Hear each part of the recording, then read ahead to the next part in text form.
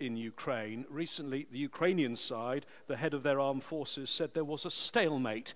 He got into some trouble. Well, it's up to the Ukrainians to recognize uh, how deep they are in the hole where the Americans put them. In that hole, too. Well, it's up for the military to, to assess the situations. And you have to call uh, uh, Mr. Zelensky uh, because a, a, year and a half ago he signed a decree prohibiting any negotiations with Putin government. And this is a well-known fact. Putin repeatedly mentioned this when asked similar questions. When Yevgeny Prigozhin was killed, when his plane was blown up, uh, that is still uh, very suspicious.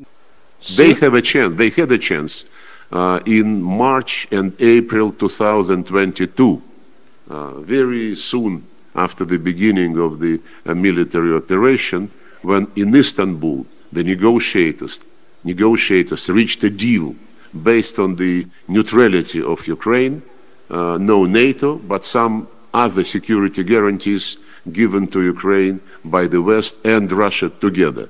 This deal was aborted it was cancelled because the Americans and the Brits decided that if Putin is ready to sign it, then let's exhaust him more.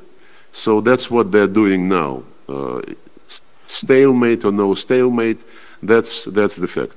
Back to the beginning of the war, there was a General Assembly resolution that Russia should, should, Russia should pull back its troops from Ukraine.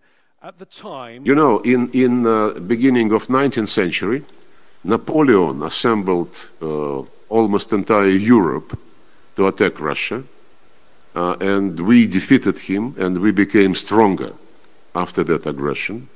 In the middle of last century, Hitler did the same. Uh, he uh, put under his uh, command uh, most of the European countries to launch aggression against Russia. He was defeated as well, and we became stronger after that war. And the result of the war launched by the United States using Ukraine, uh, Ukraine against Russia is already uh, seen.